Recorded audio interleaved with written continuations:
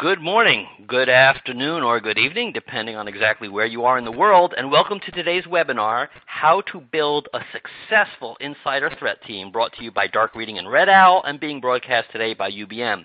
I'm Lenny Liebman, I'll be your moderator today, and I'm just going to make a few logistical announcements before we get started. Um, first of all, I want to let you know that the slides will advance for you automatically on the console. You can also download a copy of the slides by clicking on that green folder icon at the bottom of your screen want to strongly encourage you to participate in the Q&A that we have um, on this platform. And you can do that by asking questions at any time at all during the webinar. You don't have to wait until the Q&A session to do so. As a matter of fact, if either of our awesome speakers shares anything you want them to elaborate on, you want to challenge, this is a great opportunity to get uh, basically some free consulting. So just type your question into the Q&A window to the right of the presentation window, and then make sure you click the submit button so your question actually gets into our queue. Um, also, at the end of the webinar, we're going to ask you to complete a feedback form. Please do so. Your feedback provides us with valuable information on how we can improve uh, future events. Also, if you want to launch the survey at any time in advance, just click that red uh, survey button. By the way, at this time, please enable. Um, take care of your uh, pop-up blocker. Get rid of it, enable pop-ups so that you can use all the interactive features of the webcast. Finally, if you're experiencing any technical problems, just type your question into that Q&A text area, and we will offer you some one-on-one assistance.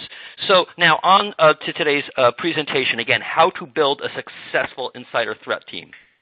Uh, as I said, got two tremendous speakers today. Um, first up is going to be Joseph Blankenship, who's uh, the senior analyst at uh, Forrester serving security and risk professionals. Um, basically, uh, he helps clients develop security strategies and make informed decisions to protect against risk. So he covers everything from security infrastructure and operations and SIM and security analytics uh, um, and security monitoring, threat detection, all that stuff. Uh, he's got a great pedigree that includes uh, McAfee and IBM and um, NTT. So um, he's going to be first up.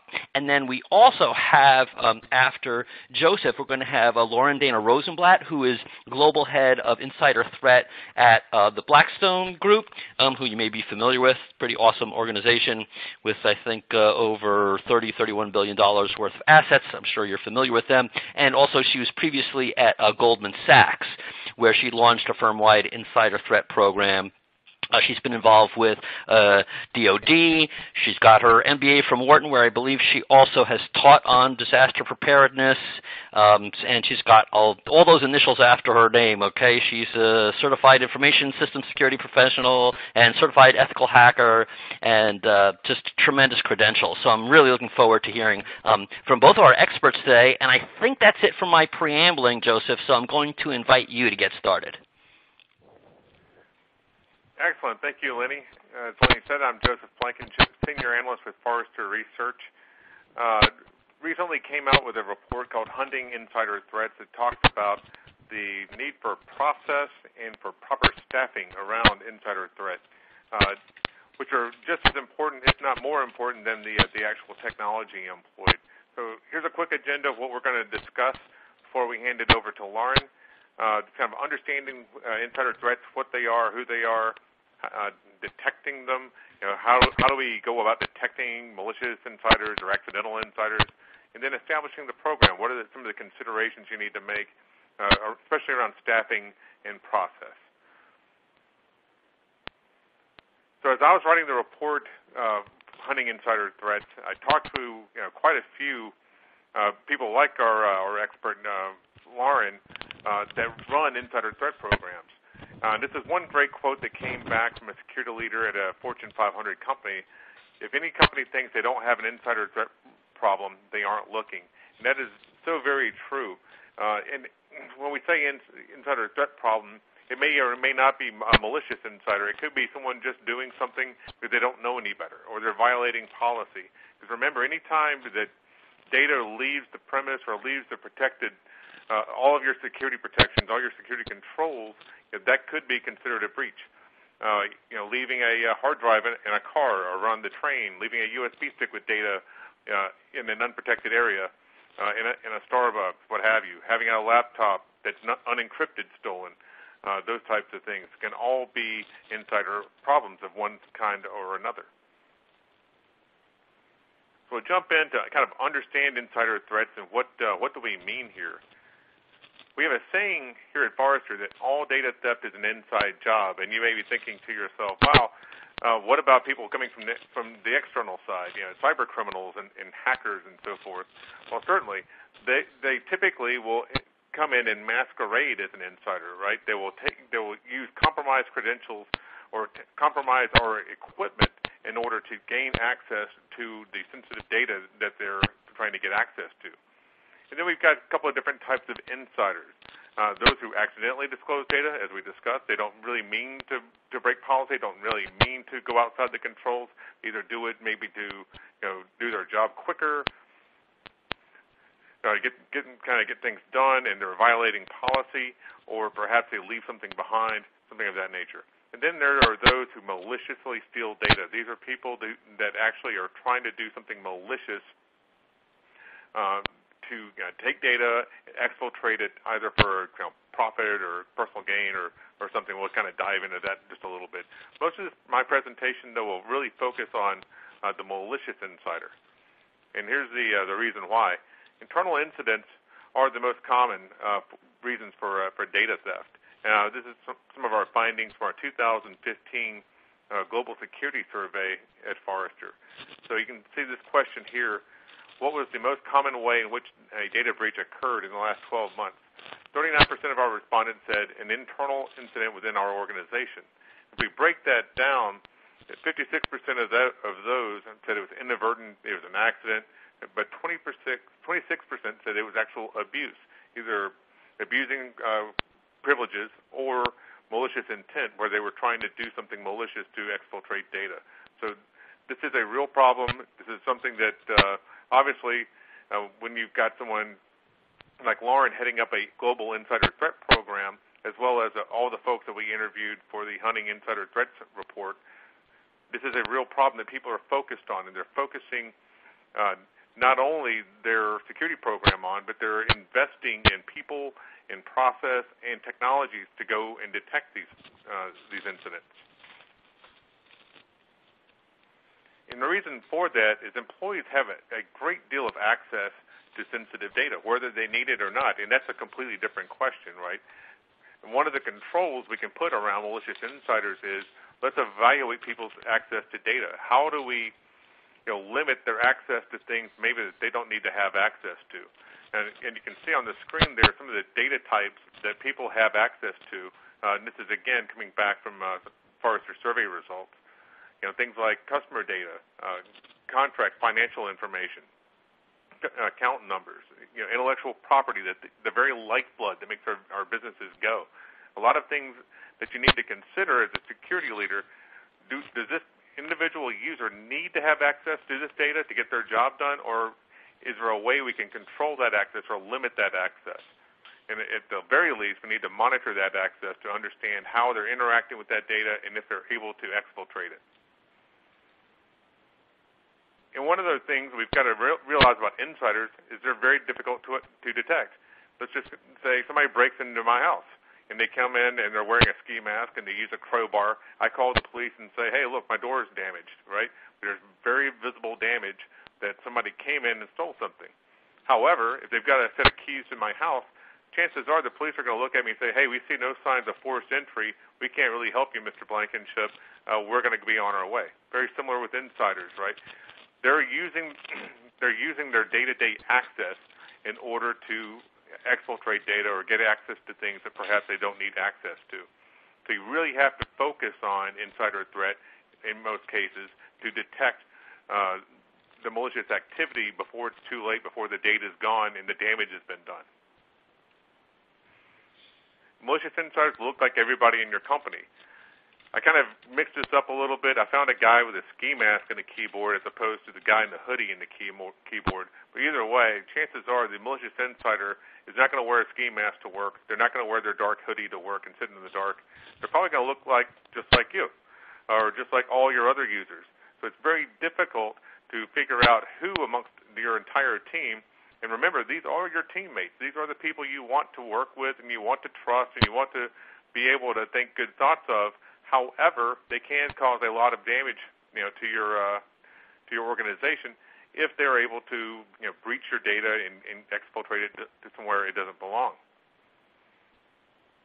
The three main impacts for malicious insiders uh, include fraud, and that's typically trying to leverage insider access in order to for financial gain. Uh, intellectual property theft. This is a very very common uh, where it's more about uh, sometimes corporate or even state-sponsored espionage, where a insider is taking data to a new job, perhaps. It could be intellectual property, it could be sales contacts, it could be financial data that they want to take to their to their next opportunity. It could be that they've been approached by a foreign agent uh, for profit, and are handing over that intellectual property, especially in the case of uh, DoD or uh, national security types of organizations. Uh, then you've also got sabotage and destruction. These are people who are just interested in destroying things on their way out. Typically, someone who is angry, uh, and, and on their way out of the organization, they want to be able to get some sort of revenge, either on a boss, a coworker, or the company itself by destroying it. It could also be uh, some sort of ideological idea that uh, where they've been uh, motivated to cause, to cause harm, especially in the case of uh, critical infrastructure, manufacturing facilities, uh, those types of things. So we've established that we've got an insider threat problem. So what do we do about detecting them? How do we find these folks? Well, fortunately, even though they may look like us and act like us, you know, they di- typically do have uh, different tells that we can use to figure out uh, if someone is motivated to be a malicious insider. Uh, some of the common uh, motivations and uh, along with their intentions include you know things like financial distress. You know you've got a uh, an employee who is under you know uh, substantial financial burden and may be motivated to do illegal things uh, to uh, rescue themselves from that uh, financial distress. Someone who's uh, vocally disgruntled and unhappy uh, may want to you know, get back at the employer over you know, some sort of perceived wrong. An employee with a sense of entitlement. A few of the examples that, or, that we found in the in the uh, insider threat research we did were that some people, some employees were just taking data home just because they thought they could. They thought that was okay. Uh, but as soon as it gets out of the uh, the control of the organization, especially anything sensitive, now it's a data breach. Now it's got to be deal, dealt with appropriately, right?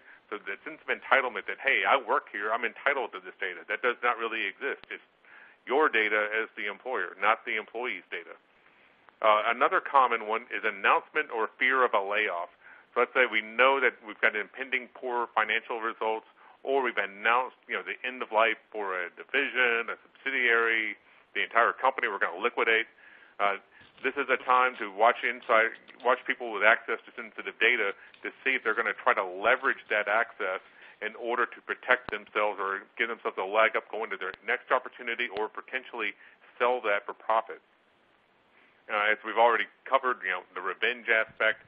You feel mistreated, you feel like your boss, the company uh, has uh, done you wrong, you may take a uh, take it out, out on the uh, the company or its infrastructure or fellow employees.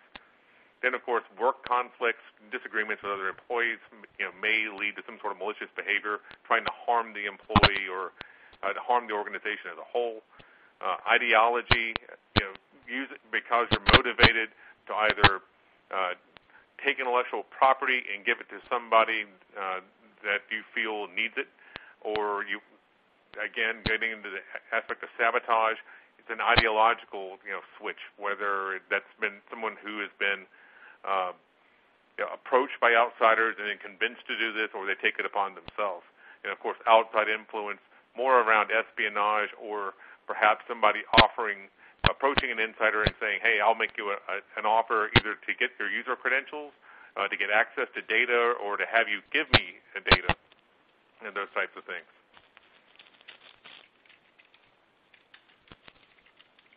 So one of the things that I think of when I think of how do we look for behaviors is casinos. If you've ever been in a casino and you look up at the ceiling, you'll notice that they have a very detailed, uh, sophisticated network of security cameras. If you haven't ever noticed that in the casino, uh, I suggest you look up because they're watching your every move uh, while you're at the table. They're looking to see if you are doing anything that may be against the rules to give you an, an advantage. Very similar to what we need to do to look for malicious insiders, right? We're looking for the behaviors that are indicative of some sort of malicious in, intentional behavior. And you typically in that casino, you can see the entire floor, but it's really focused on the table and the dealer right? If you'll ever notice, the dealer usually has to clap their hands over the table, show their hands are empty before they reach for a new deck of cards, reach for chips under the table, or do anything away from the table, uh, just to show, hey, I'm not doing anything wrong. So just as you know, we use those cameras to look for player behavior and we look for dealer behavior that could be a sign that something's amiss. Technology also has to be able to look for abnormal or suspicious, suspicious insider behavior. and thankfully, just like players at a uh, at a casino table, there are tells uh, for malicious insiders. So sample indicators that someone may be um, a potential insider. It's not saying that somebody you know that says I'm getting a new job is you know absolutely malicious. However, it may be a leading indicator. It helps give you a short list of leads of people to look at. Let's just say you're in a 20,000 person organization. Uh, can your insider threat program and your team focus on 20,000 people simultaneously, that is probably not something that's possible. However, if you're able to use leading sample indicators to, find, to, to create a short list of people to monitor, especially as they've announced that they're going, going to depart the organization, they've shown some things like uh, poor performance appraisals, uh, vocalized financial distress. Uh, they've had unexplained financial gain. You know, so if anybody remembers the movie Superman 3, when Richard Pryor drives up in a Ferrari after he uh, steals a bunch of money from the bank, that kind of thing, right? They look out the window and like, who stole our ten million dollars? They look out the window, there's Richard Pryor in a Ferrari. Well, that guy must have done something amiss, right? So it's those kinds of things that can let us know, hey, we may need to watch this person more closely to figure out what they're doing. one of the tools we can use to do that, obviously, is user behavior analytics. It's a, it's a uh, a tool set that allows us to look at user behavior and device behavior on the network to see how that user normally interacts with data and, and systems and to see if there's any uh, changes from a baseline. Uh, is a user trying to access a system they no, normally don't access or their cohort group, their peers, don't typically access to do their jobs? Has that pattern suddenly changed? Is there a change in geolocation uh, that does not make sense with that person and their job? Are they suddenly do we suddenly see a user account being accessed from overseas uh, when that user obviously is sitting right here in uh, in North America and shouldn't be uh, showing up overseas? So it's one of the things that user, user behavior analytics uh, technology helps us to do is to focus on those behaviors to see how a user normally behaves, and then ha- are they deviating from the norm? Are they accessing data? Have they pulled down data or done something different with data than what they typically do. Especially we're looking at that short list, it helps us establish this is not just suspicious, this actually may be malicious, and now we need to do further investigation. Let's talk a little bit about establishing an insider threat program. What are some of the things we need to think about as we're doing this? Now, first of all, we don't want to come off with our fellow employees, our peers, our coworkers, the people we care about. We don't want to come off as uh, as Big Brother, right? So one of the things you've got to focus on is um, employee privacy, especially in certain geographic geographies where it's very important that you protect employee privacy and their right to um, yeah, and their right to privacy, especially uh, if you're operating at all in uh, in Europe.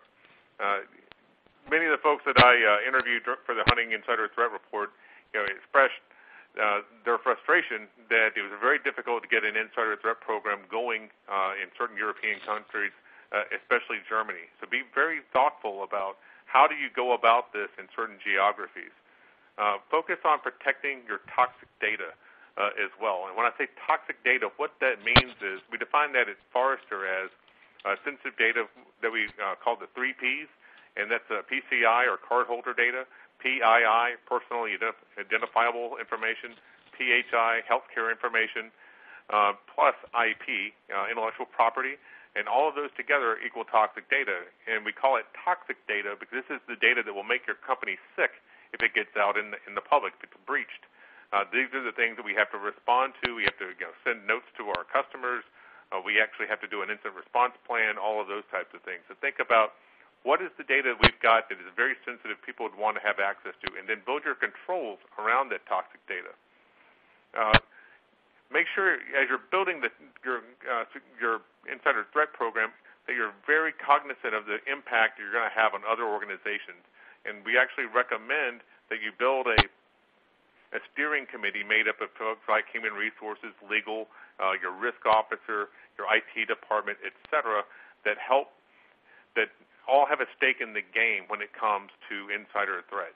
Uh, make sure there's a plan in place. How what how what do we do if we suspect someone of insider activity, and build a process around that. Build policies. And it can be your current policies, but you need to build training around those policies to make sure that in, that your employees know, hey, we do have an insider threat program. That means we're going to be watching for behaviors, and that's for your own protection. Uh, install a program of you know, the sort of see something, say something kind of angle, right? If you see an employee or you know of somebody who's making threats against the company, make sure you raise that so that it gets to the insider threat program and we can watch it. Because the worst thing that can happen is you know you establish a program, people realize they're being watched, they don't understand it, and they react poorly. If they understand it and they they become part of the program, now you've got you know a thousand eyes and ears out actually helping the program and, uh, and hopefully uh, embracing it as they know that it's actually there to help them and to help uh, help their peers and to help their employer. And lastly, uh, monitor your employee behavior. Now, install a processes and install technology that helps you to monitor what their employees are doing, especially as you're developing that uh, that short list. And we developed these 10 steps to an insider threat program. We're going to go through all of these in detail but you know, starting at the top, uh, gain executive sponsorship. This is an insider threat is a top-down sort of initiative. Remember, your executives are insiders too, as are consultants, as are uh, third-party business partners that have access to your corp- to your corporate network. Identify the stakeholders that will be affected, as we talked about, HR, risk, um, et cetera.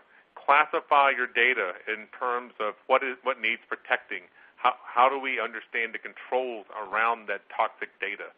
Look at your group group your users. So as you're using your user behavior analytics tool to monitor those users, you've got peer groups established that you can understand whether or not they're coming out, they're doing things that are abnormal compared to others.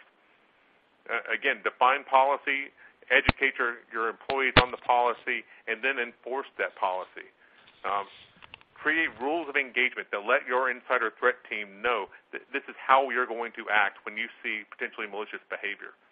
Make this a dedicated function, whether it's inside your security team or outside your security team. You can definitely ad- advocate for it, not necessarily rolling up to your information security team. But the dedicated focus is let's make sure we, these individuals are trained and they know they're dealing with employee sensitive information, private information they've got to protect uh, inside the organization. Establish consistent processes and continue. Make sure that whatever you're doing, you're doing consistently by the documented process. Treat every investigation that you do as if this will end up in a court of law, because there's a pretty good chance that it will. You may not want to prosecute someone for stealing data. You may want to keep it under the rug. But let's just think if you make a uh, an accusation against somebody that turns out to be false, they actually may take you to court as opposed to you taking them to court. Uh, lastly, train and communicate. I think we went into, you know, kind of drilled that in a couple of times. Then the last thing, and notice this is the last thing on the list, implement monitoring technology. Before you, in, you start with technology, think about the process, the policy, and how you're going to implement these things. All of those things are just as important, if not more important, than the actual technology that you use to monitor. So staffing your insider threat team, uh, perhaps look outside the security team. Look for someone who's got a, a background in law enforcement or counterintelligence, at least someone who's got investigative skills. Uh, invest in training that person and making sure that they understand, and this could be a single person, maybe someone who does this part-time to start uh, from your security team or from another team uh, before you end up building a team up around them. Okay. Start small, and then uh, and and then expand as, as need be. Right? Invest in training these folks to make sure they understand the the, the significance of what they're doing, uh, and they understand the need for secrecy and privacy for all their coworkers. We can't go around treating everybody as if they're a suspect in a uh, in an investigation. I can't emphasize this enough. Build consistent processes and stick to them. Uh, when you decide, find that short list, you've identified somebody who you think is malicious. Have a consistent process on how you decide whether or not to investigate this. Who helps make that decision? It shouldn't be the analyst alone. It should probably be in conjunction with someone like an HR or legal or risk representative. Uh, and then follow that same process every time uh, with a closed feedback loop. Um, and then use your technology, use your UBA, use your DLP technologies to enable the process. And that will help you not only find the insider threat, but also protect, protect yourself as the organization, as well as your insider threat team uh, for, and your employees uh, from you know uh, harming someone by uh, identifying them falsely or accusing them falsely. And with that, I'm going to wrap up, hand it back over to uh, Lenny, who I believe is going to uh, provide us with a poll question.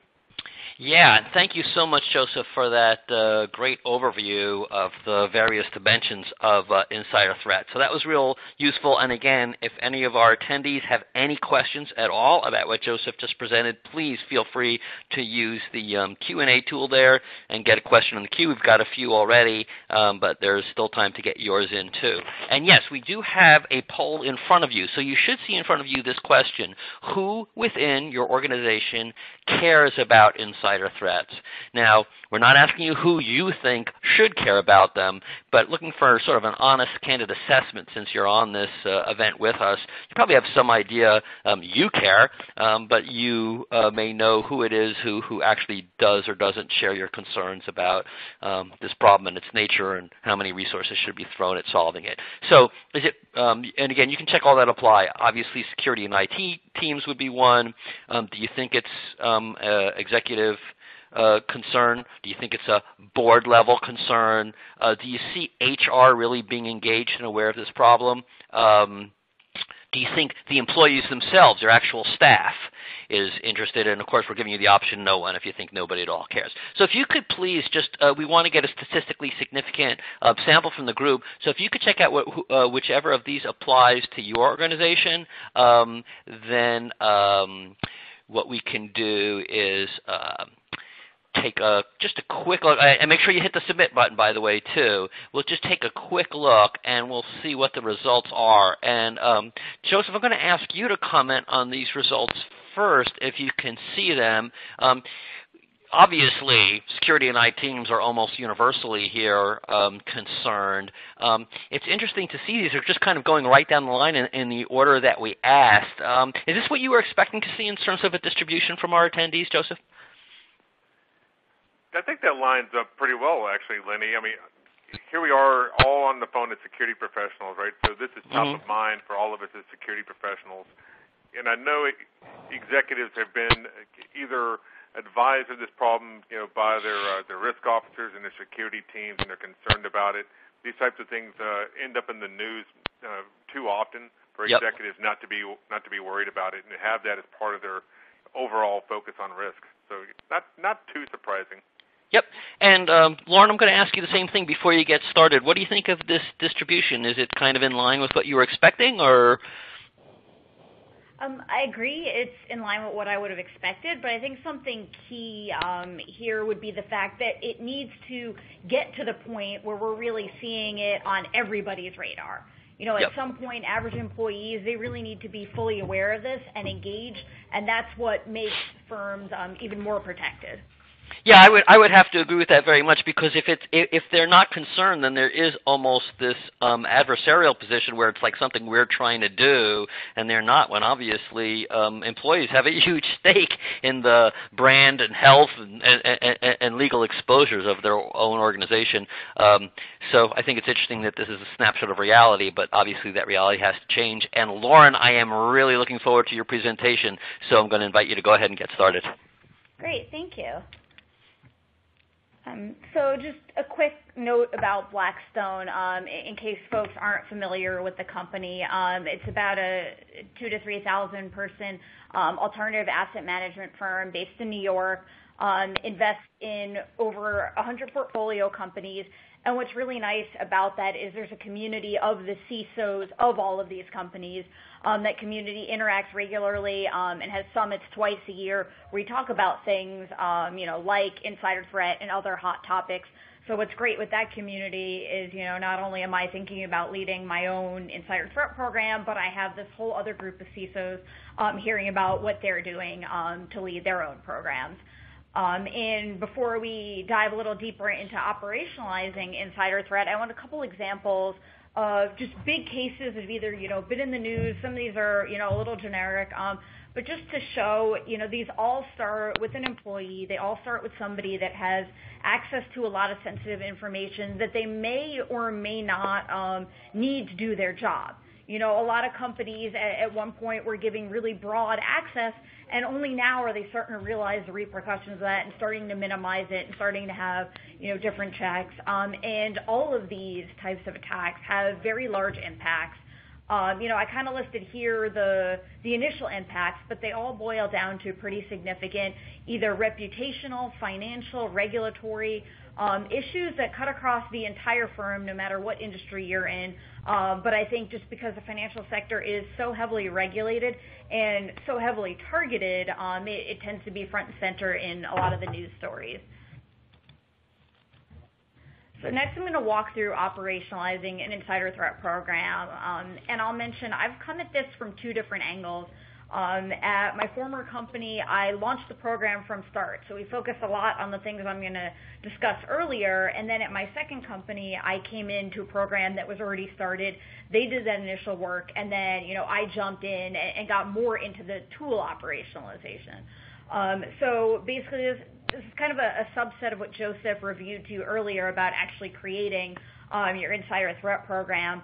So at this point, you're assuming you know you have that framework, you have a lot of the high-level processes, you have all that executive buy-in that you need, and you have the right people you know ready to to focus on insider threat. And in, in both cases, the way we really kicked off that operationalization portion was what are the different use cases. So what's really important to us what do we want to make sure we're catching with this?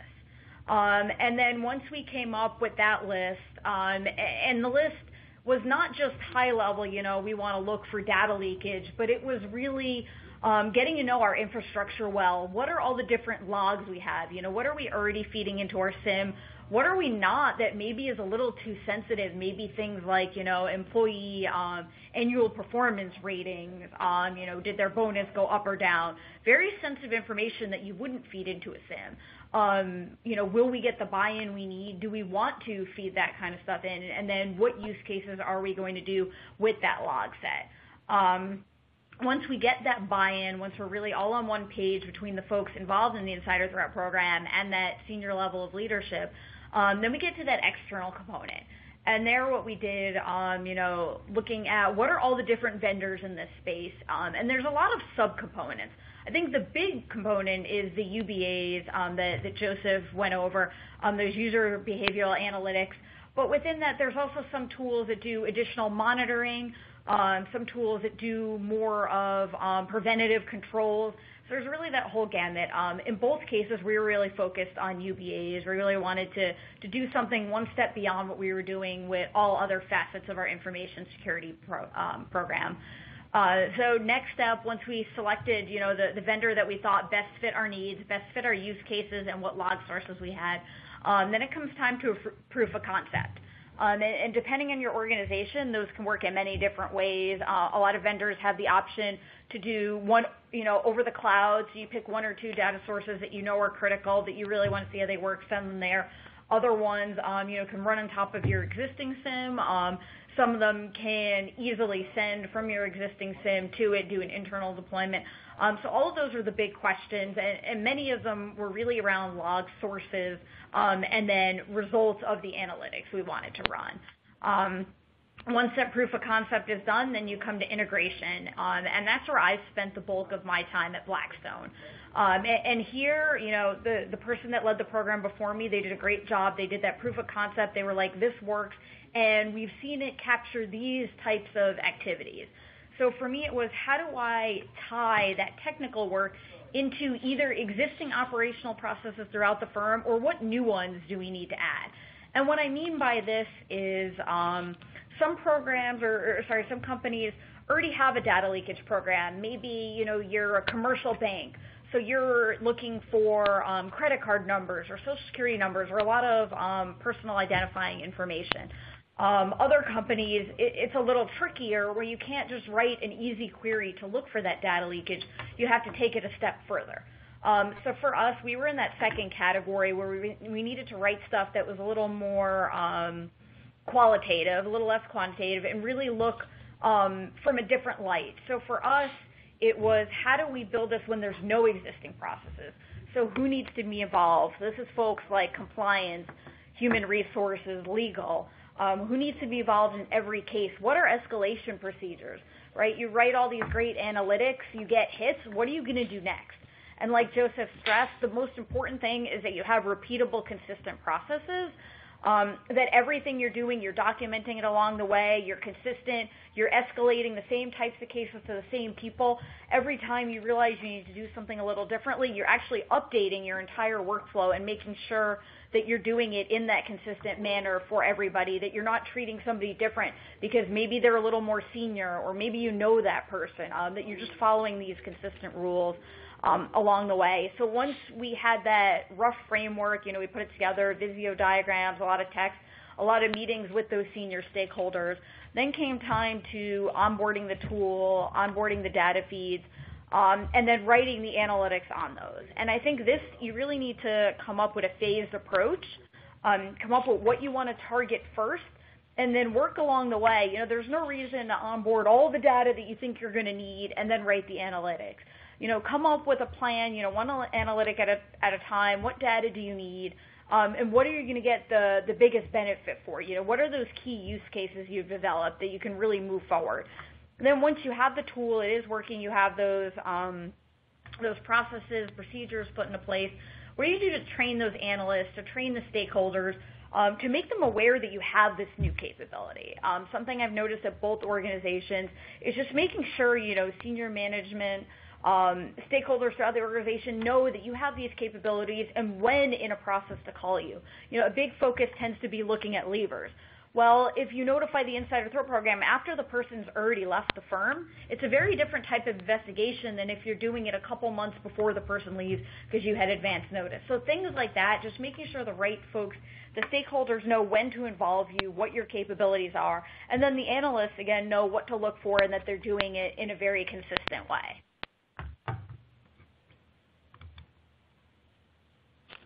So for us, um, we decided we wanted to focus on four key areas that I listed here. Um, data leakage, and like I mentioned, a little different than the traditional data leakage.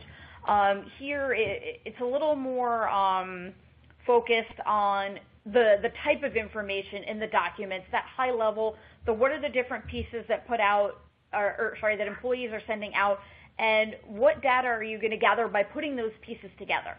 So not necessarily client data, but um, but maybe something like um, you know a, a pre-release financial document or um, a statement about um, a merger or a company that we think you should invest in, different things like that, which goes into the next two, which are insider trading and wall crossing.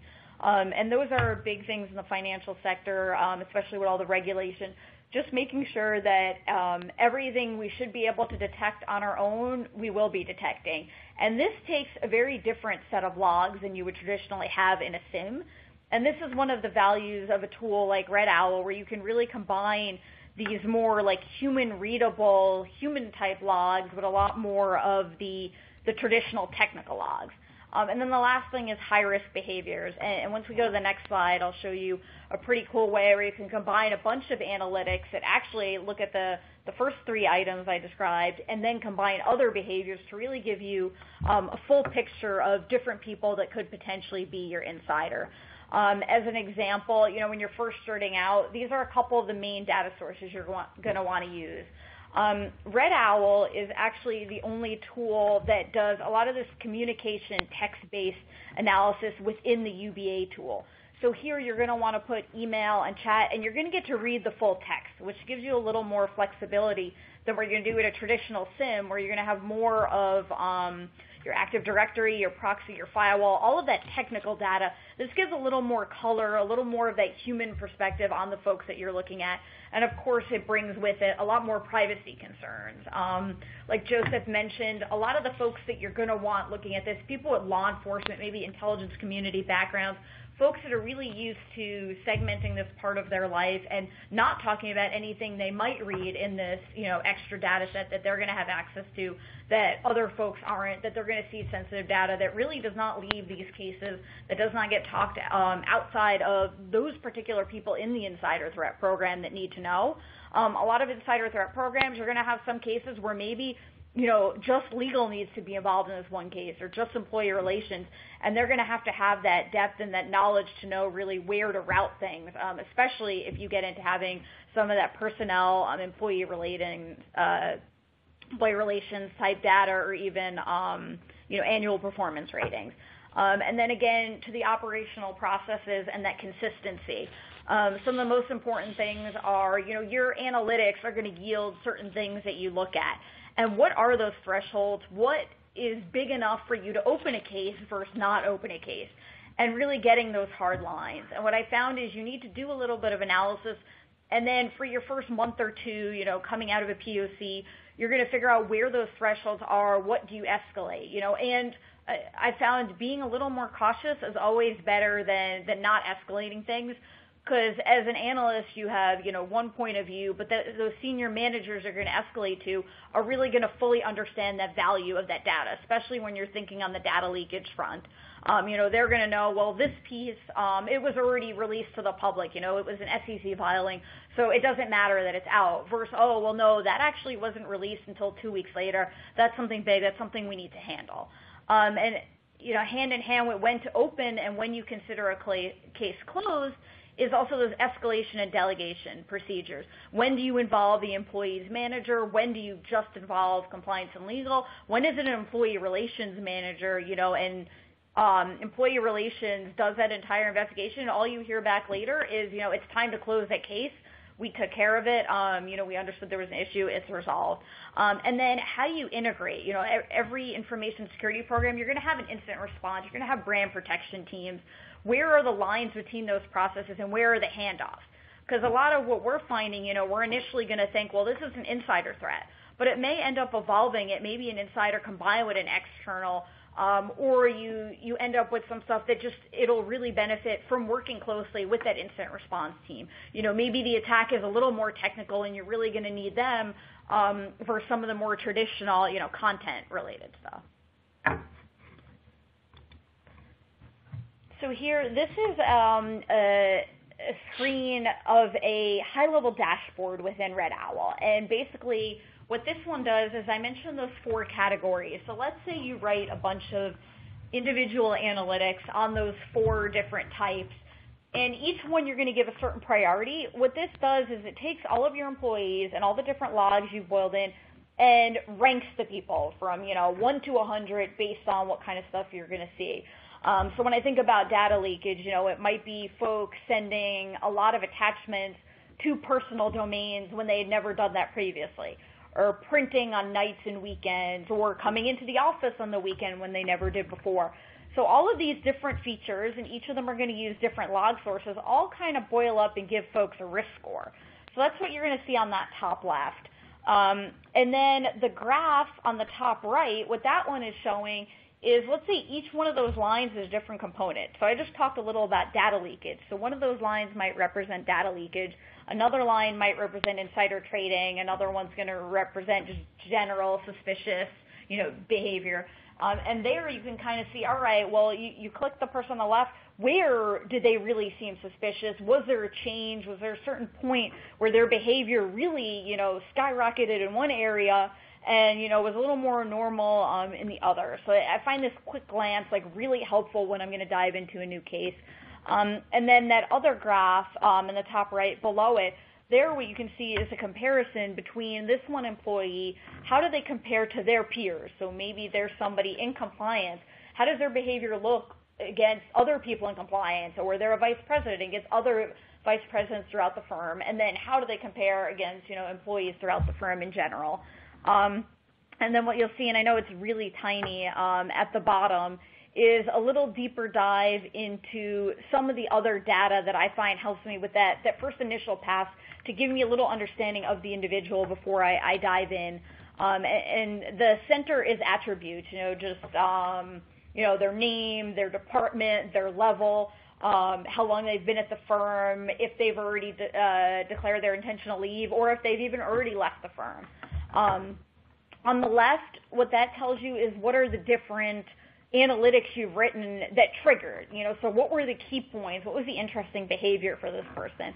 And then right, um, who are the top entities this person is involved with? You know, maybe most of the people you look at, everyone they're involved with, it's other people in their department. And all of a sudden you come up with somebody and their main communication is with somebody at an external media agency. Um, this just gives you that initial point where you dive in. Um, for me, I've been very focused on data leakage recently, so I've been looking a lot at. I'm interested in who are you communicating with, what are your communication patterns, um, what are the key things that you're doing, really like outside of the firm or outside of your department.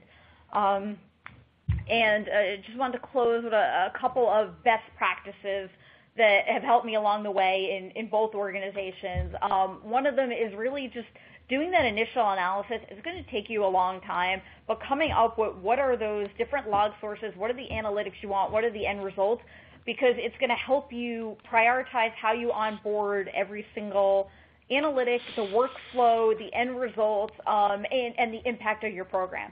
Most folks don't have insider threat programs, so you're going to be the first one creating it. And you really want to make sure that you have that structure and that all the senior folks that are supporting you know that you know what you're doing, that you're focused on the biggest risks first and then working your way down. Um, again, having that documented formal workflow, you know what you're going to do with everything you find, you know where you're going to pass it, uh, and what you're going to do next. And then, um, you know, all this that I went into, it's great, but it should really be supplementing those preventative measures. Um, you know, education and employee awareness, so folks know what social engineering is. Um, they know about what all the different threats are. Um, that you know, if you're in a firm where you really don't want stuff sent out, that you have the proper blocks in place for email, for webmail, for USB, for any of those egress points. Um, that all that should be done, and then monitoring should be rounding out that entire insider threat posture. So I will now pass um, back to Lenny for questions. Yes, you will. And that was completely awesome description of uh, what you've been doing and also of the Red Owl tool. Um, and we are, are, going to have a, a few minutes for Q&A. Um, before we do that, I uh, have pushed out that feedback form. Should be opening on your computer. Again, if your pop-up blocker has prevented the uh, form from launching, um, just click the red survey icon at the bottom of your screen and make sure you click Submit Answer because we want you to fill out the form and send it to us. Um, so thank you in advance for that. Um, okay, we've got lots of interesting questions here, so we'll try to get to them as, as quickly as we can. Uh, Lauren, I think I want to ask you first because um, you mentioned this thing about when somebody leaves the company, um, you know, versus uh, uh, sort of before and after, and you talked about processes. So, is it one of the key issues there about termination? Is in fact sort of the process by which HR, which I guess owns termination connects with IT, which owns um, data and application access privileges, right? Does that tend to be sort of a problem in an organization? Is the process by which people get their privileges um, completely and fully revoked to all resources upon termination, like either automatically or the process? Can you just talk a little bit about just that idea of how termination actually happens in a digital organization? Right, and there's actually two components. So first I'll answer that part, and then I'll kind of explain a little bit behind the comment I made earlier. Mm-hmm. Um, a lot of firms have a set process for employee onboarding and employee mm-hmm. offboarding, and they have a set process for when an employee changes roles. Yep. Um, and all of those processes make sure that you really only have access to the resources you need. Um, a lot of places will have, you know, every quarter your your manager is going to verify, you know, do you still need access to these project shares or these tools and everything? Um, and the most important thing, like you said, is you know on an employee's last day that evening to make sure they lose all their access Mm-hmm. And you know that's your your key card for the building, your login, even access to individual tools, just so you don't have an open account that somebody could use if they were to hack into your firm and use lateral movement. You really just want to close every door that you can. Mm-hmm. Um, the reason I had made the comment earlier, though, was a slightly different point. Um, and there, what I was getting at is if your concern with the individual is data leakage while the employee is an employee of the firm, you know, it's easy. You can call them into their manager's office. You can have a discussion. You can get a little more um, information. But once an employee leaves the firm, then um, it just gets to be a little bit more of a challenging situation with you know getting them to to come back to the office or possibly you know going to their area of residence. Whereas when they're still mm. here, you can just have those deeper um, conversations and really understand the situation a lot more. Yes, understood. And um, I think um, it, it would be also good to ask you a question because you did bring up something, you touched on something very briefly that I think is really interesting, which is this idea of um, the behavior as it's of, of people as it's manifest in unstructured content, especially emails. So, can you talk a little bit about how you operationalize that in terms of um, keyword searches and like at, at a firm like Blackstone? And I'm sure you can't get too much into specifics, but obviously the names of the companies that you're looking at and dealing with and the deals you're working on are always changing. So those keywords you're looking for might have to, uh, you know, your your your your detection of anomalous use of them is going to change as the business is doing different things. Um, is is are we on the right track here in talking about that this is a way of detecting behavior? And again, there's somehow the the security people have to interact with the business people to even know what to look for, um, you know, semantically in those emails. No, yes. Exactly, and and so that's one of the challenges, and why for UBAs, people doing um, things like um, insider trading analytics, why those tend to be more of like a last step in a program, okay. because then you really need that sensitive access. You need to know what companies we're doing deals with immediately when those companies get on the radar. Um, whereas what I was referring to earlier, um, mm-hmm. there's a lot of keywords you can use to look for specific behaviors. Um, so, for instance, there's sentiment analysis. Maybe you mm-hmm. have a mm-hmm. lexicon of words that indicate that someone is disgruntled with something. Yep. And maybe you pair that lexicon with a certain lexicon for a, a type of domain. Um, you know, maybe they're in HR, but they're using a lot of words that are typically used by investment bankers. Yep. And so it's really the that concept of lexicons and combining those lexicons that helps you get around when you can't really just like you know look for credit card numbers or, or things that are easily searchable in a quantitative way. So, so what you're saying is that um, if an HR person is using the name of too many single malt scotches in their emails. I, I didn't mean to impugn investment bankers at all. Um, so I want, to, I want to talk to Joseph for a second and ask you a couple of these questions um, because you also made reference to this idea of um, while we live in a world where people want access to a lot of information, we do have to um, govern that a little bit. How the heck do you do that? I mean, who tells who what somebody really needs access to. I feel like in an empowered digital workplace, um, a lot of times managers don't even know what their teams really need access to because they've told them to get a job done, right, as opposed to use these tools to do it. So can you talk to a little bit about sort of the tension between the democratization of data and even the logistics of like how you define um, or how you restrict data access to some kind of data that somebody might say, well, wait, you asked me to do this job and I think I can do it using this stuff. Yeah, well, I think it's you know where, where a manager may not have may, may not have that visibility. It's really looking at uh, who are the right people to have access to the things we really care about. Mm-hmm. Uh, everyone does not need access to the cardholder data. Uh, mm-hmm. You know, many of these, many of the cardholder data breaches have happened over time. Happened because somebody used live data in a uh, test environment. So why mm-hmm. on earth do we have a developer uh, accessing you know live cardholder data uh, that's in a in a production system? You know, so it's things like that, kind of understanding you know, where do we need to uh, limit uh, access based on role. And one of the ways we you know do that uh, at Forrester uh, when we're advising clients is with the zero trust framework. And what 0 Mhm. trust means is um, we don't necessarily look at everything that happens inside a corporate environment or a network uh, as, as a trusted environment, right? Because we, we want to create micro perimeters or segmentation around Mhm. the data we care about. And that's you know PCI data, PHI, PII, intellectual property. Uh, it could be M&A type activity, uh, as Lauren made reference to, those types of things. Uh, everyone doesn't need to have access to that. Let's just say I'm a I work in the customer service organization. Is there any reason I should have any insight into what type of M&A activity my company's up to? Uh, no, I should absolutely not have access to that. So it's understanding what the role of the individual is, and they, if they need access to do a job, let give that access, and then once the job's done, take the access away, Mm. um, and make sure that they didn't download the data uh, to a system that's not protected.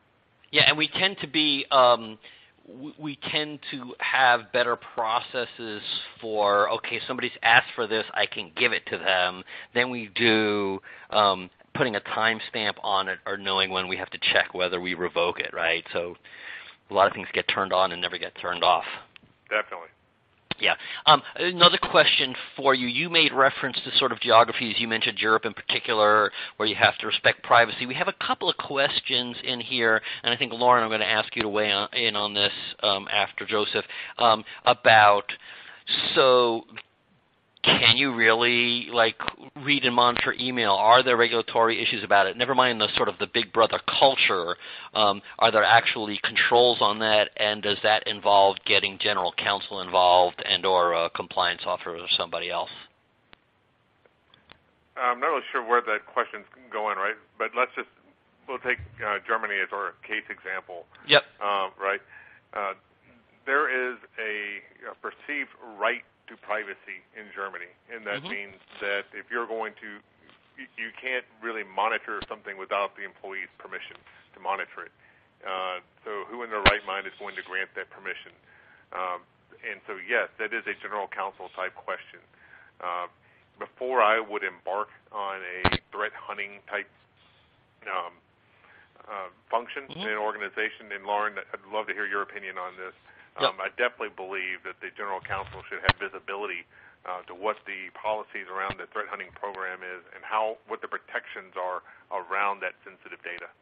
And, and before you answer, uh, Lauren, I just want to sort of uh, bring another question in this that, that we have here because you made reference to this idea of what do you want to put in the SIEM, right? So it's not just reading emails. You talked about um, making a decision. So, so who? I mean, it seems to me there's a lot of potential stakeholders, not only general counsel, but HR and managers and anybody who's managing culture.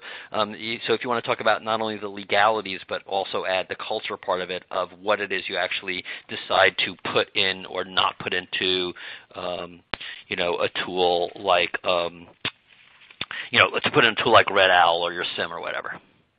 Exactly. Um, like both of you guys said, general counsel um, is involved every step of the way. Mhm. Um, and with financial institutions, you'll find too, it's um, the legal general counsel department, and it's also the compliance team. Mhm. And so every decision, um, jurisdiction by jurisdiction, which ones it's okay to do, which ones it's not, which ones you can do certain things versus not. And again, that's where having like a handbook and having all the training and having that is so key to make sure your analysts and all your folks involved aren't encroaching on any of those privacy rules in certain regions. Um, and again, the same thing with the logs. You may be allowed to use some logs in some jurisdictions, and you can't touch those logs in others, and you just have to, to change your program, change your analytics, and just understand those limitations. Um, and we are near the top of the hour, so I'm going to ask you maybe each to give a quick final word before I wrap up. Uh, Lauren, we'll start with you briefly, and then Joseph, just any final thoughts. Sure. Um, for me, I just think the biggest thing to stress um, with operationalizing an insider threat program is really getting those key stakeholders involved and having them involved almost on a daily basis. And by key stakeholders, I mean legal, compliance, employee relations, maybe even physical security, and your information security team. Great point, Joseph.